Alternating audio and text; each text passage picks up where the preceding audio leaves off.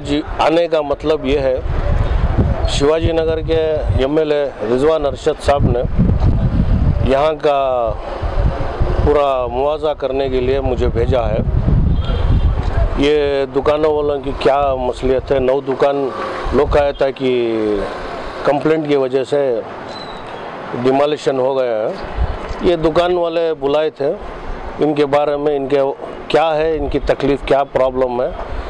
इसलिए बुलाए थे। इनसे बात कर कर कर हूँ मैं।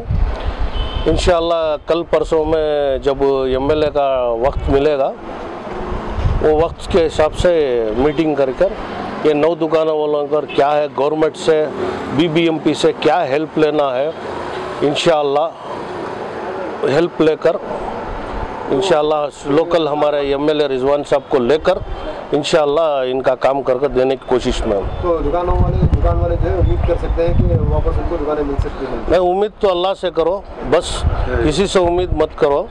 इन हमारा काम है वो कर को देने का इंशाल्लाह हमें देखेंगे। क्योंकि लोकल हमारे एमएलए रिजवान साहब को लेकर आकर क्या करना है एक उसके लिए एक गवर्नमेंट के लिए बीबीएमपी के लिए उसके लिए एक बैठकर एक प्लान बनाना है।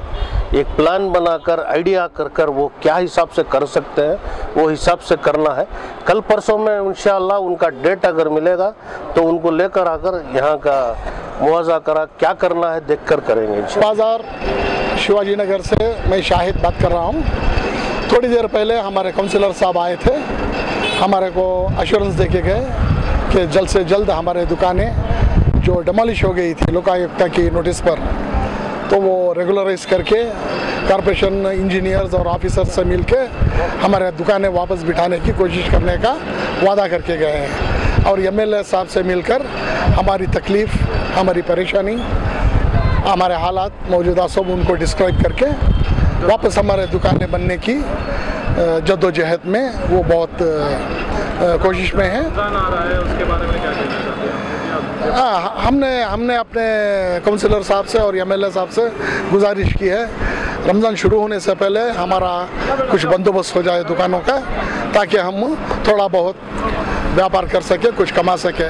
लास्ट ईयर भी हमारा दुकानें बंद रही कोरोना की वजह से। इस साल हमारे को ऐसी तकलीफ़ आ रही है डिमोलिशन की। तो उनके वादे से हमने एक यकीन जाग गया है कि कुछ हो जाएगा, हमारे दुकानें वापस बन जाएँगी। इंशाल्लाह, उम्मीद तो है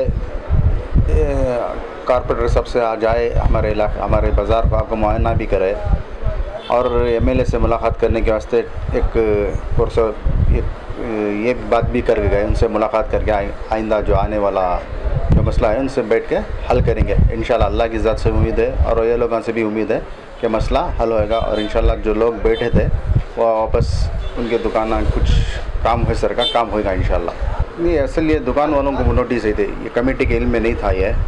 शकील पे बचाए थे। इससे पहले ये शक, शकील भी इससे पहले जो दुकान बने थे ये शकील भी कॉरपोरेटर थे जब उस वक्त और उनकी वजह से वो दुकान पूरे उस वक्त बैठे थे। लेकिन नोटिस बाद में जो आई वो उसका इल्म नहीं था वो, ना कॉरपोरेटर को था, ना कमेटी को था। ये लोगों के पास था और ये लोगों ने कुछ अपने तौर से कोई कार्रवाई नहीं की। और इसका नतीजे में आखिरी आठ नौ नोटिसों के बाद लोकायुक्ता वाला ने उसको डिमोलिश कर दिया।